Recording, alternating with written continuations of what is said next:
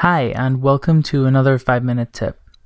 In this tip, I thought I'd give you guys a bit of a trick when it comes to modeling things and filling sort of uh, sort of your requirements for your geometry. So here's an example. I have a cylinder here in a HyperNURBS object. Let's just turn the HyperNURBS off for now.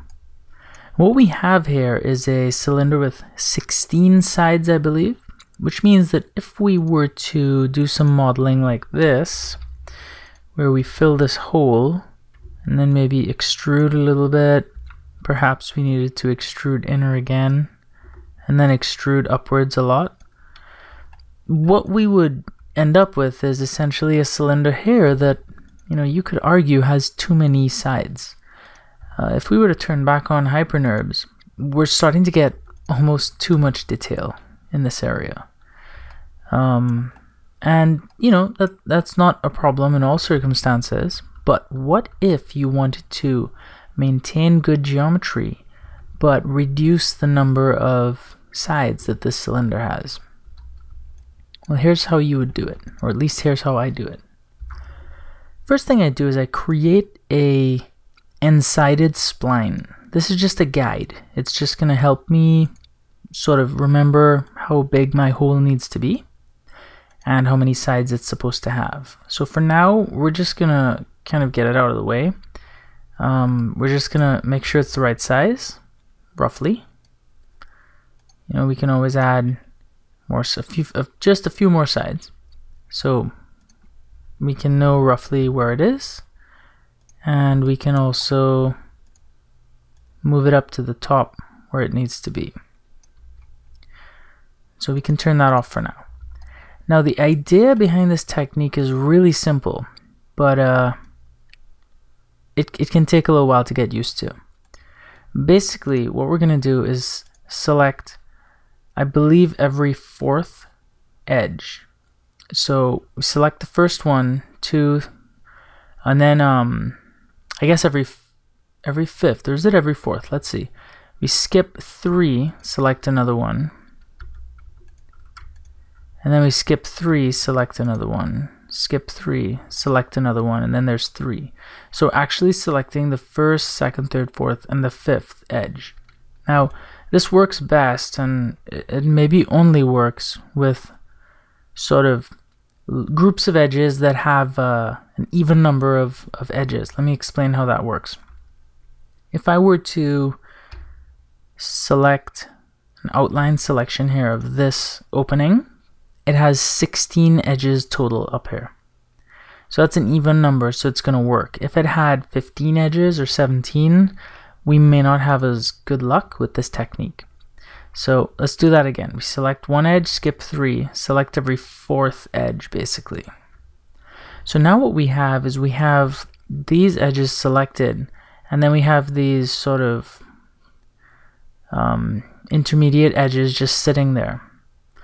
And so now what we can do is we can actually just scale them. And so I'm just going to scale along the XZ.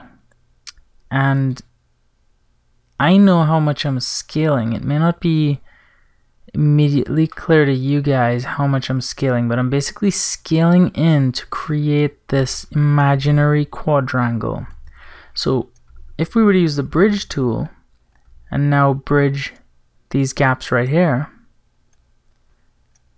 what we've done is we've kept the top surface of this object all quads, but now if we were to do that same selection with the outline selection tool, it's only eight edges. So we've basically reduced the number of edges up here by a factor of two. This is where that n-side comes in. We can select that end, we can turn the n-side back on, and now it shows up right here. And of course you can use snapping or or just you can just position it by looking and you can make sure it's right where it needs to be. And then if we go to the, to the top view we can sort of see how we need to reshape this. Now the cool thing about this being an n-side is that we can now change it to 8 because we know that there are 8 sides. And then we can go to point mode.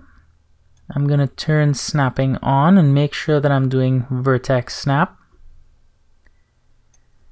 And I should just be able to snap these edges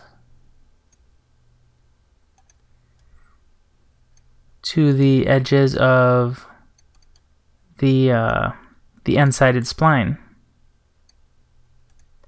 There should be eight edges total. And so we just need to snap this eight times. And what we're left with, uh, we're getting some shading errors. I'll show you how to fix that. But what we're left with is an eight-sided opening where we used to have a 16-sided opening. So that's a good reduction. To get rid of this weird twisting, what we can do is, uh, there's, there's two things we do. The first thing we do is we go back to edge mode where we have that outline selected and we just rotate it. So we should be able to rotate it so it doesn't freak out as much, just like that. And then the other thing that I like to do is actually use the brush tool to evenly distribute these edges. Now it depends on the kind of modeling you're doing. If you're doing really hard surface precise modeling, you may be better off selecting these four edges manually and sort of scaling them and maybe using point mode and tweaking them into position. But what I prefer to do is actually select these edges. Now remember, selecting edges like this is the equivalent of selecting the points. So if I control, or it might be command on the Mac, control click point mode, I get the points. And these are really the points that I want to modify. The same way that when we rotated these, these are the points we're dealing with. All the other points on the surface here we're happy with. So what I can do is I can choose the brush tool. And we have a nice big brush um, you know, we can always tweak the size by using middle click. Middle click up or middle click down. Middle click up and down is um, the intensity, the strength, and middle click left to right is the size. And we want to change the mode from smear. We don't want to smear. We want to change that to smooth. And give it a strength maybe 10% to start with. What we can do is we can just paint over.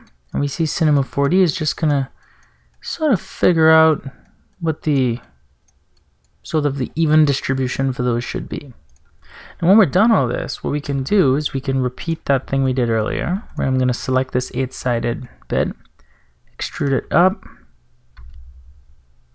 extrude it inwards, and then extrude it up again.